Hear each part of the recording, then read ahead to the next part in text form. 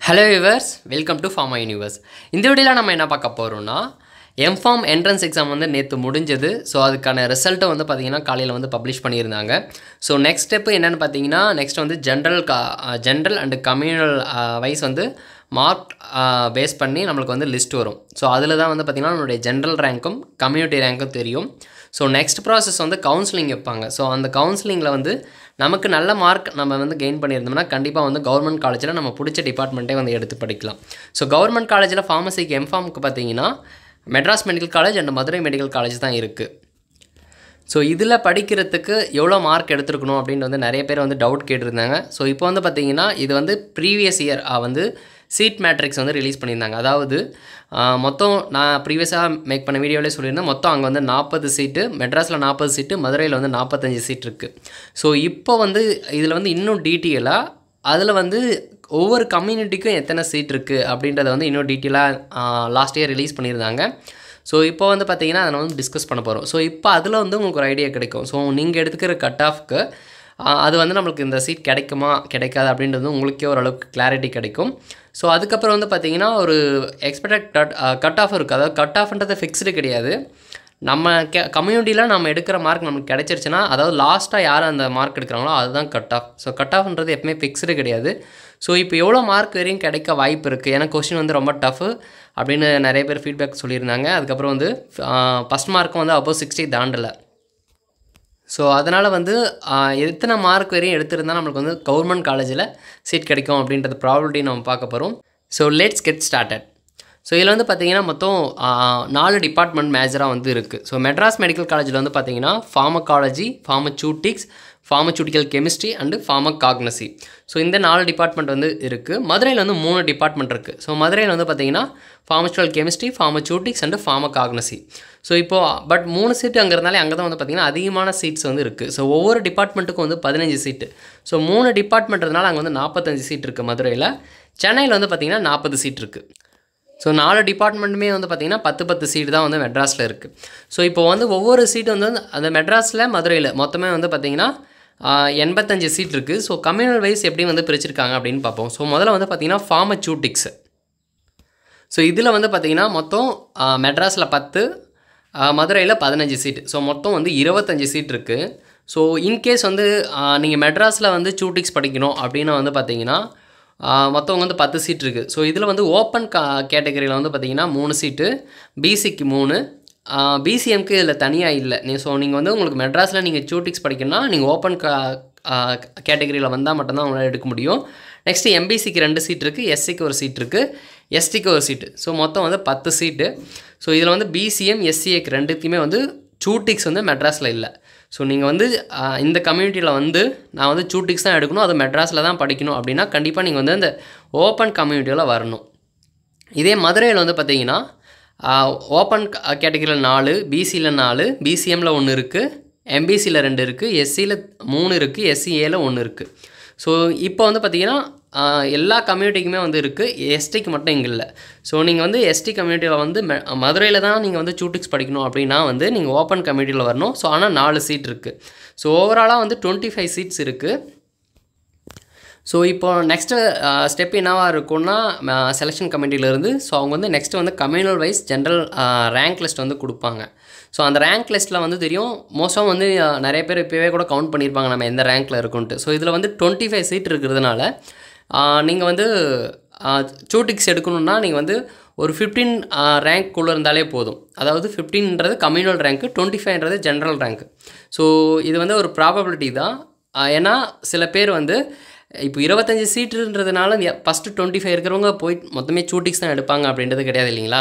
So அதனால் வந்து ஒரு சேஃபஸ்ட் ரேங்க் எப்போவுமே வந்து சூட்டிக்ஸ் வந்து எல்லாருக்குமே ஃபஸ்ட் ப்ரிஃபரன்ஸாக இருக்கும். பட் மெட்ராஸில் வந்து பார்த்திங்கன்னா ஃபார்மா காலேஜ் தான் ஃபஸ்ட் ப்ரிஃபரன்ஸாக இருக்கும்.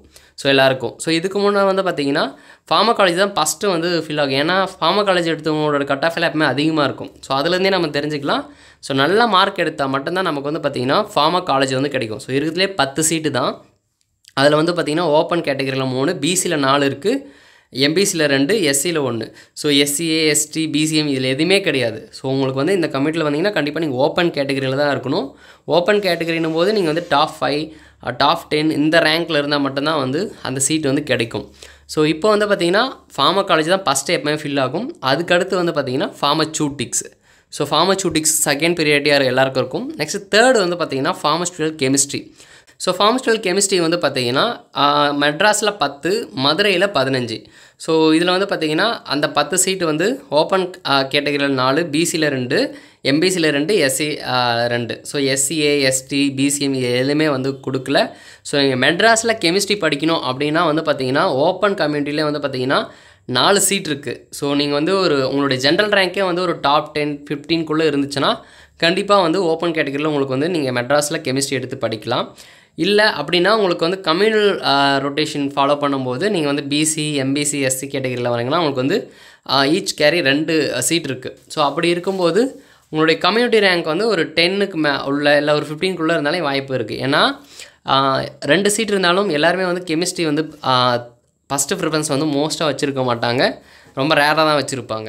ஸோ நெக்ஸ்ட் வந்து மதுரையில் வந்து பார்த்தீங்கன்னா இல்லை இந்த கெமிஸ்ட்ரி தான் வேணும் சென்னை கிடைக்கலனாலும் பரவாயில்ல அப்படின்னும் போது மதுரை இன்னொரு ஆப்ஷன் இருக்குது ஸோ அதில் வந்து பார்த்திங்கன்னா ஓப்பன் கம்யூனிட்டியில் வந்து நாலு போகுது. பிசியில் மூணு இருக்குது பிசிஎம்மில் ஒன்று இருக்குது எம்பிசியில் நாலு சீட் இருக்குது எஸ்சியில் வந்து மூணு சீட் இருக்குது ஸோ மொத்தம் வந்து ஃபிஃப்டீன் சீட்ஸ் இருக்குது ஸோ அப்படி பார்க்கும்போது உங்களுடைய கம்யூனிட்டி ரேங்க் ஃபிஃப்டீன்குள்ளே இல்லை டுவெண்ட்டி கிட்ட இருந்தாலையும் நிறையவே சான்சஸ் இருக்குது ஸோ இதில் வந்து பார்த்திங்கன்னா மொத்தம் ஃபிஃப்டீன் சீட் இருக்கு இல்லையா? ஸோ இதில் வந்து எல்லாருமே கெமிஸ்ட்ரி இங்கே எடுப்பாங்களான்னு தெரியாது. அதனால் வந்து ஒரு ஃபிஃப்டீன் டுவெண்ட்டி டுவெண்ட்டி ஃபைவ் போனால் கூட உங்களுக்கு வந்து சான்சஸ் வந்து நிறையவே இருக்குது நெக்ஸ்ட்டு ஃபார்மகாக்னசி இது வந்து லாஸ்ட் ஆப்ஷன் எல்லாம் வச்சுருப்பாங்க. ஒரு சிலர் வந்து ஃபஸ்ட் ஆப்ஷனாக கூட வச்சுருப்பாங்க.